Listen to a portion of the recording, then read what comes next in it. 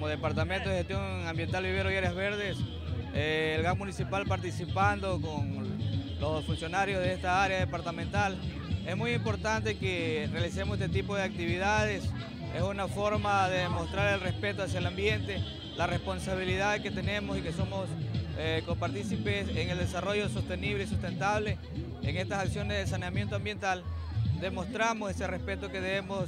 tener. Eh, hoy pues con el apoyo y la participación de diversas instituciones, Ministerio del Ambiente, la Policía, el Ejército,